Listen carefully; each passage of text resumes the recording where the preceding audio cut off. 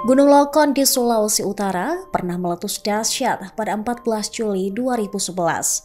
Letusan Gunung Lokon yang terjadi pukul 23 lebih 31 waktu setempat merupakan yang terbesar dari letusan vulkanik yang berlangsung hampir satu bulan. Gunung Lokon memiliki ketinggian 1580 meter di atas permukaan laut.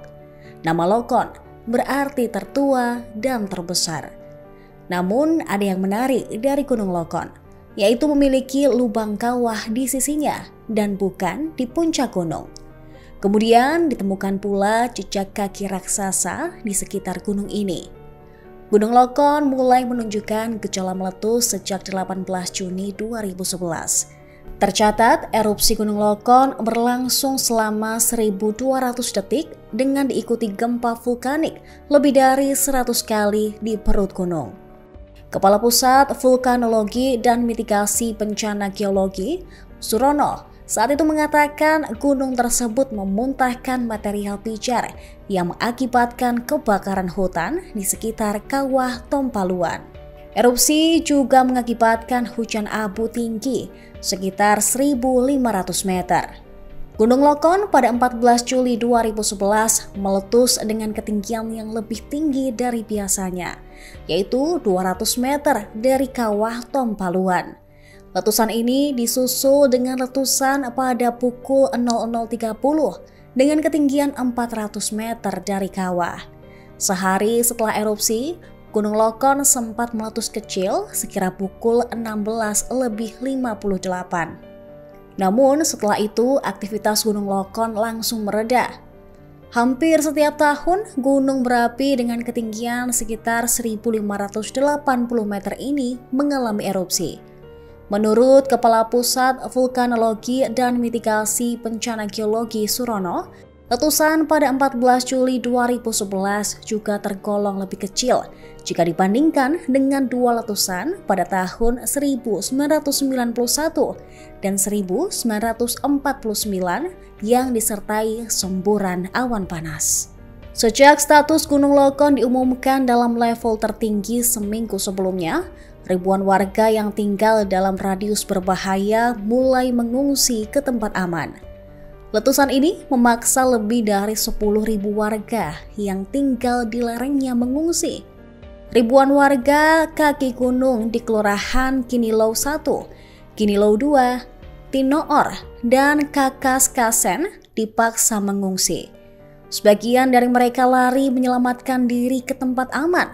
Beberapa di antaranya berlari pula ke Manado. Sementara itu, jumlah warga yang menempati enam lokasi pengungsian tercatat 6.000 orang. Sedikitnya dalam sehari setelah letusan, terdapat dua warga yang meninggal sebagai akibat tak langsung dari letusan Gunung Lokon.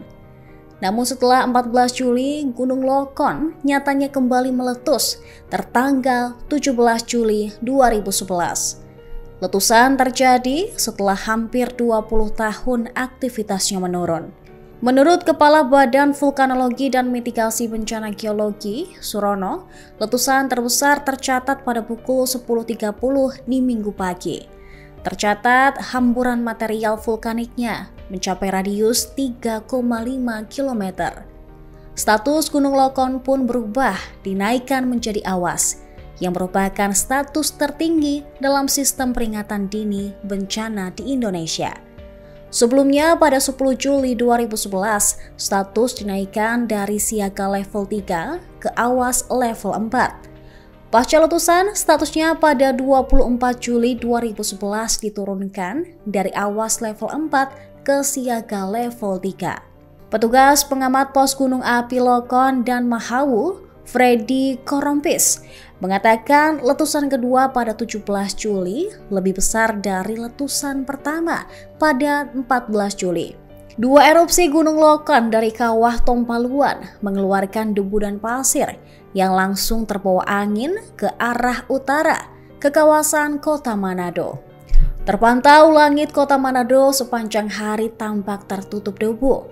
Atap rumah-rumah di Manado tampak terselubung debu tipis. Jarak Gunung Lokon dari kota Manado pun sekira 30 km. Meski demikian, dua letusan tersebut tidak menimbulkan korban jiwa. Gunung Lokon kembali meletus pada 3 Desember 2012 sekira pukul 15 lebih 42 Wita. Dibandingkan letusan pertamanya, energi letusan mengalami peningkatan. Tinggi asap letusan mencapai 4000 meter dari kawah Tompaluan.